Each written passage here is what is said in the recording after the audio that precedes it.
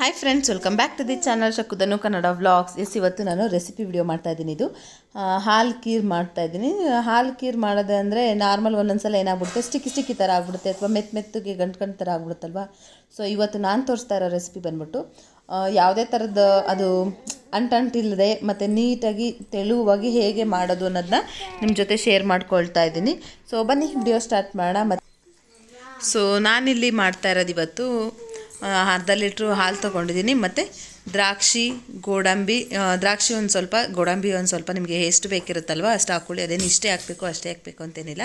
So ಅರ್ಧ litre ಹಾಲ್ಗೆ ಮಾಡ್ತಾ ಇದ್ದೀನಿ ನೋಡಿ ಇಲ್ಲಿ ಒಂದು ಹತ್ತರಿಂದ ಹದಿನೈದು ಬಾದಾಮಿನ ನಾನಿಲ್ಲಿ ಸಣ್ಣ ಸಣ್ಣಗೆ ಹೆಚ್ಕೊಂಡು ಕಟ್ ಮಾಡಿ ಈ ಥರ ಮಾಡ್ಕೊಂಡಿದ್ದೀನಿ. ಇದು ಲಾಸ್ಟಲ್ಲಿ ಆ್ಯಡ್ ಮಾಡೋಣ ಅಂತೇಳಿ. ಇದು ಆಪ್ಷನಲ್ಲು ಬಾದಾಮಿ. ಹಾಕಿದ್ರೆ ಹಾಕ್ಬೋದು ಸ್ಕಿಪ್ ಕೂಡ ಮಾಡ್ಕೋಬೋದು. ಮತ್ತು ಇದು ಹತ್ತು ರೂಪಾಯಿದು ಬಾದಾಮ್ ಪೌಡ್ರ್ ಪ್ಯಾಕೆಟ್ ಒಂದು ಮೂರು ತೊಗೊಳ್ಳಿ. ಮತ್ತು ಒಂದು ಮುಕ್ಕಾಲು ಕಪ್ಪಷ್ಟು ಸಕ್ಕರೆ. ಜಾಸ್ತಿ ಬೆಳೆ ಜಾಸ್ತಿ ಹಾಕಿದ್ರೆ ಸ್ವೀಟ್ ಆಗಿಬಿಡುತ್ತೆ. ಸೊ ಮುಕ್ಕಾಲು ಕಪ್ ಸಾಕು. ಮತ್ತು ಇದೇ ಅಳತೆದಲ್ಲಿ ಕಪ್ ಒಂದು ಕಪ್ಪು ಕರ್ಷಾವಿಗೆ ತೊಗೊಂಡಿದ್ದೀನಿ ನಾನು. ಮತ್ತು ಇಲ್ಲಿ ಹಾಲು ಕಾಯಕ್ಕಿಟ್ಟಿದ್ದೀನಿ ಈಗ ಈ ಹಾಲಿಗೆ ಏನಂದರೆ ಒಂದು ಕಾಲು ಲೀಟ್ರಷ್ಟು ನೀರು ಹಾಕ್ಕೊಳ್ಳೋಣ. ನಿಮಗೆ ಯಾಕೆ ಅಂತಂದರೆ ಅದು ಹಾಲು ಕಾಯ್ತಾ ಕಾಯ್ತಾ ಬೇಗ ಗಟ್ಟಿಯಾಗ್ಬಿಡುತ್ತಲ್ವಾ? ಸೊ ಅದಕ್ಕೋಸ್ಕರನೇ ನಾನಿಲ್ಲಿ ಕಾಲು ಲೀಟ್ರಷ್ಟು ನೀರು ಹಾಕ್ಕೊಂಡಿದ್ದೀನಿ ಸಾಕು ಕಾಲು ಲೀಟ್ರಷ್ಟು ನೀರು ಮತ್ತು ನೆಕ್ಸ್ಟ್ ಇದಕ್ಕೆ ಇವಾಗ ನಾವು ಒಂದು ಸೈಡು ಶಾವಿಗೆ ಕರ್ಕೊಂಬಿಡೋಣ ಅದು ಹಾಲು ಕಾಯೋ ಅಷ್ಟರಲ್ಲಿ ಇನ್ನೊಂದು ಸೈಡು ನಾವು ಗ್ಯಾಸ್ ಮೇಲೆ ಶಾವಿಗೆ ಕರ್ಕೊಳ್ಳೋಣ ಅಂಥೇಳಿ ಶಾವಿಗೆ ಮತ್ತು ತುಪ್ಪ ಗೋಡಂಬಿ ಇದೆಲ್ಲ ಕರ್ಕೋಬೇಕಲ್ವ? ತುಪ್ಪದಲ್ಲಿ ಕರ್ಕೊಂಡ್ರೆ ಚೆನ್ನಾಗಿರುತ್ತೆ ಫ್ಲೇವರ್ ಎಣ್ಣೆಲೂ ಕರ್ಕೋಬೋದು. ಬಟ್ ಆದರೆ ತುಪ್ಪದಲ್ಲಾದರೆ ಘಮ ಚೆನ್ನಾಗಿರುತ್ತೆ ಫ್ಲೇವರ್ ಚೆನ್ನಾಗಿರುತ್ತೆ ಅಂತೇಳಿ ನಾನಿಲ್ಲಿ ತುಪ್ಪದಲ್ಲಿ ಕರ್ಕೊಳ್ತಾ ಇದ್ದೀನಿ. ಸೊ ಅದನ್ನು ನೋಡಿಕೊಂಡು ಜಾಸ್ತಿನೂ ಏನು ಇದು ಮಾಡ್ಕೋಬಾರ್ದು. ಜಾಸ್ತಿ ರೋಸ್ಟ್ ಆಗೋ ಥರ ಎಲ್ಲ ಮಾಡ್ಕೋಬಾರ್ದು. ಸ್ವಲ್ಪ ಫಸ್ಟ್ ಏನು ಮಾಡಬೇಕು ಅಂತಂದರೆ ಗೋಡಂಬಿ ಹಾಕ್ಕೊಂಡು, ಗೋಡಂಬಿ ಒಂದು ಎರಡು ಸೆಕೆಂಡ್ ಫ್ರೈ ಆದಮೇಲೆ ನೆಕ್ಸ್ಟ್ ದ್ರಾಕ್ಷಿ ಹಾಕ್ಕೊಂಡು ತೊಗೊಬಿಡಿ. ಮತ್ತು ಅದಾದಮೇಲೆ ನೆಕ್ಸ್ಟು ನಾನಿಲ್ಲಿ ಶಾವಿಗೆನ ಹಾಕ್ಕೊಂಡು ಫ್ರೈ ಮಾಡ್ಕೊತಾ ಇದ್ದೀನಿ ಇದು ನೋಡ್, ನೋಡ್ತಾ ಇದ್ದೀರಲ್ವ ಯಾವ ಥರ ದ್ರಾಕ್ಷಿ ಗೋಡಂಬಿ? ಒಂದು ಸ್ವಲ್ಪ ಗೋಲ್ಡ್ ಕಲರಲ್ಲಿ ಗೋಲ್ಡನ್ ಕಲರಲ್ಲಿ ಗೋಡಂಬಿ ಬಂದರೆ ಸಾಕು. ಜಾಸ್ತಿ ಫ್ರೈ ಮಾಡಿದ್ರೆ ರೋಸ್ಟ್ ಆಗಿಬಿಡುತ್ತೆ.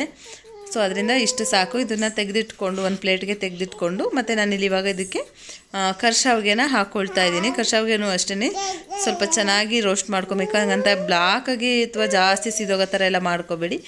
ನೀಟಾಗಿ ಅದು ಅಂದರೆ ಅದೇನಾಗುತ್ತೆ ಅಂದರೆ ಹೈ ಫ್ಲೇಮ್ ಮಾಡಿ ನಾವು ಫ್ರೈ ಮಾಡ್ಕೊಂಡಾಗ ಏನಾಗ್ಬಿಡುತ್ತೆ? ಜಾಸ್ತಿ ಕರು ಕರ್ರಿಗೆ ಬ್ಲ್ಯಾಕ್ ಬ್ಲ್ಯಾಕ್ ಥರ ಆಗ್ಬಿಡುತ್ತೆ, ಮತ್ತು ಸೀದೋಗ್ಬಿಡುತ್ತೆ. ಸೊ ಫ್ಲೇಮ್ನ ನಾವು ಕಮ್ಮಿ ಇಟ್ಕೊಂಡು ನೋಡ್ಕೊಂಡು, ನೋಡಿಕೊಂಡು ತಿರುಗಿಸ್ತಾ ತಿರುಗಿಸ್ತಾ ರೋಸ್ಟ್ ಮಾಡ್ಕೊಬೇಕು ನೀಟಾಗಿ ಇಲ್ಲಿ. ನೋಡಿ, ಇವಾಗ ನಾನು ಇಲ್ಲಿ ಶಾವಿಗೆ ಕರ್ಕೊಳ್ತಾ ಇದ್ದೆ. ಅದೇ ಟೈಮಲ್ಲಿ ಹಾಲು ಕೂಡ ಉಪ್ಪು ಬಂತು. ಸೊ ಇದನ್ನ ಸ್ವಲ್ಪ ತಿರುಗಿಸ್ಬಿಟ್ಟು ನಾನು ಈ ಟೈಮಲ್ಲಿ ಏನು ಮಾಡ್ತಾ ಇದ್ದೀನಿ ಸಕ್ಕರೆ ಹಾಕ್ಕೊಳ್ತಾ ಇದ್ದೀನಿ. ಆ, ಎರಡು ಕೆಲಸ ಒಟ್ಟಿಗೆ ಆಗುತ್ತಲ್ವ ಈ ಥರ ಮಾಡಿಕೊಂಡ್ರೆ ಅಂತೇಳಿ.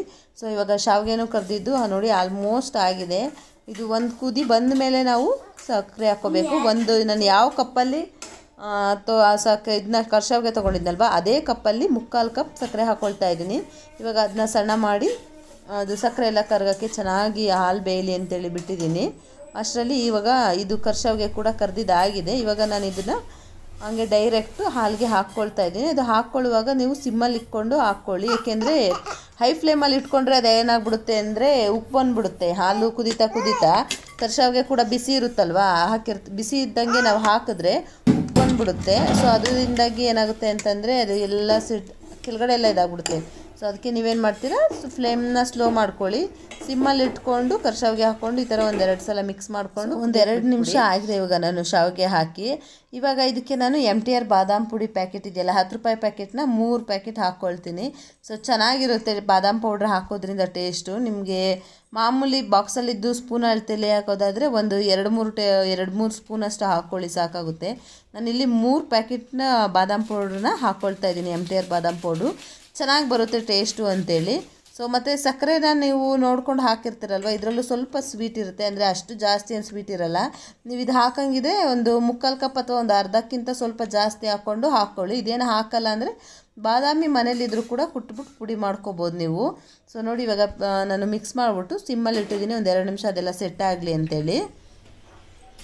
ಸೊ ಇವಾಗ ಅದು ಶಾವಿಗೆ ಎಲ್ಲ ಬೆಂದಿದೆ, ಒಂದು ಐದು ನಿಮಿಷ ಆಗಿದೆ. ಶಾವಿಗೆ ಕೂಡ ಬೆಂದಿದೆ, ಮತ್ತು ಅದು ಬಾದಾಮ್ ಪೌಡ್ರ್ ಏನು ಹಾಕಿರ್ತೀವಲ್ಲ, ಅದು ಎಲ್ಲ ಸೆಟ್ ಆಗಿದೆ ನೀಟಾಗಿ. ಸೊ ಈ ಟೈಮಲ್ಲಿ ನಾನು ಏನು ಮಾಡ್ತಾ ಇದ್ದೀನಿ ಇಲ್ಲಿ, ದ್ರಾಕ್ಷಿ, ಗೋಡಂಬಿ, ಮತ್ತು ಬಾದಾಮಿ ಎಲ್ಲ ಕರೆದಿಟ್ಕೊಂಡಿರ್ತೀವಲ್ಲ, ಇದನ್ನೆಲ್ಲ ಹಾಕ್ಕೊಂಡು ಮಿಕ್ಸ್ ಮಾಡ್ಕೊಳ್ತಾ ಇದ್ದೀನಿ. ಮತ್ತು ಇವಾಗ ಈ ಥರ ಒಂದೆರಡು ಸಲ ಮಿಕ್ಸ್ ಮಾಡಿಕೊಂಡು ಒಂದೆರಡು ನಿಮಿಷ ನಾವು ಪ್ಲೇಟ್ ಮುಚ್ಚಿಬಿಟ್ಟು ಸಿಮ್ಮಲ್ಲಿ ಇಟ್ಬಿಟ್ಟು ಬಿಟ್ಬಿಡೋಣ. ಅದೆಲ್ಲ ನೀಟಾಗಿ ಸೆಟ್ ಆಗುತ್ತೆ. ಸೊ ಇವಾಗ ಇದೆಲ್ಲ ಸೆಟ್ ಆಗಿದೆ. ಇವಾಗ ನಾನು ಏನು ಮಾಡ್ತಾ ಇದ್ದೀನಿ ಇಲ್ಲಿ ಪ್ಲೇಟ್ ಮುಚ್ಚಿಬಿಟ್ಟು ಒಂದು ಐದು ನಿಮಿಷ ಬಿಟ್ಬಿಡ್ತೀನಿ, ಅದೊಂದು ಸ್ವಲ್ಪ ಕೂಲ್ ಆಗಲಿ ಅಂತೇಳಿ. ಬಿಸಿಲು ಕೂಡ ಹಾಕೊಂಡು ತಿನ್ಬೋದು. ಬಟ್ ಏನಂದರೆ ಆಲ್ಕೀರಿ ಯಾವತ್ತಾದರೂ ಒಂದು ಎರಡು ನಿಮಿಷ ಅದು ಹಳ್ಕೊಳಕ್ಕೆ ಬಿಟ್ಬಿಟ್ರೆ ಅಂದರೆ ಅದೆಲ್ಲ ಸಾವಿಗೆದೆಲ್ಲ ನೀಟಾಗಿ ಸೆಟ್ ಆಗುತ್ತೆ. ಒಂದು ಎರಡು ನಿಮಿಷ, ಮೂರು ನಿಮಿಷ ನಾನು ಏನು ಮಾಡ್ತೀನಿ ಪ್ಲೇಟ್ ಮುಚ್ಚಿಬಿಟ್ಟು ಬಿಟ್ಬಿಟ್ಟು ಅದಾದಮೇಲೆ ನಾನು ಸರ್ವಿಂಗ್ ಬ್ಲೋ ಬೌಲ್ ಏನಿದೆಯಲ್ವಾ ಸೊ ಸರ್ವಿಂಗ್ ಬೌಲ್ಗೆ ಸರ್ವ್ ಮಾಡ್ಕೊತಿದ್ದೀನಿ ನೋಡ್ತಾ ಇದ್ದೀರಾ? ಒಂದು ಐದು ನಿಮಿಷ ಆಗಿದೆ, ಆದಮೇಲೆ ತಿರುಗಿಸ್ತಾ ಇದ್ದೀನಿ. ಆದರೂ ಕೂಡ ಗಟ್ಟಿಯಾಗಿಲ್ಲ ನೋಡಿ, ತೆಳ್ಳಗೆ ಇದೆ. ಮತ್ತು ಟೇಸ್ಟ್ ಕೂಡ ಚೆನ್ನಾಗಿ ಬರುತ್ತೆ. ಸೊ ಖಂಡಿತವಾಗಿಯೂ ಮನೇಲಿ ಒಂದು ಸಲ ಟ್ರೈ ಮಾಡಿ ನೋಡಿ. ಇವಾಗ ಟೇಸ್ಟಿ ಹಾಗೆ ನಾನ್ ಸ್ಟಿಕ್ಕಿ ಅಂದರೆ ಸ್ಟಿಕ್ಕಿ ಸ್ಟಿಕ್ಕಿ ಇಲ್ಲದೆ ಇರೋ ಥರ ಹಾಲ್ಕಿ ರೆಡಿಯಾಗಿದೆ ಸೊ ಸುಮ್ಮನೆ ಮೇಲೆ ಇವಾಗ ಗಾರ್ನಿಷ್ಗೆ ಅಂದ್ಬಿಟ್ಟು ಒಂದೆರಡು ದ್ರಾಕ್ಷಿ ಗೋಡಂಬಿ ಎಲ್ಲ ಹಾಕಿದ್ದೀನಿ. ಸೊ ನಿಮಗೆಲ್ಲ ವಿಡಿಯೋ ಇಷ್ಟ ಆಗಿದೆ ಅಂತ ಅನ್ಕೊತೀನಿ. ವಿಡಿಯೋ ಇಷ್ಟ ಆದಲ್ಲಿ ಗೊತ್ತಲ್ಲ ಲೈಕ್ ಮಾಡಿ ಶೇರ್ ಮಾಡಿ ಕಮೆಂಟ್ ಮಾಡಿ ಮತ್ತು ಸಬ್ಸ್ಕ್ರೈಬ್ ಮಾಡಿ. ಥ್ಯಾಂಕ್ ಯು ಬಾಯ್ ಮತ್ತೆ ಇನ್ನೊಂದು ಬ್ಲಾಗ್ ಜೊತೆ ಸಿಗ್ತೀನಿ. ಅಲ್ಲಿವರೆಗೂ ಟೇಕ್ ಕೇರ್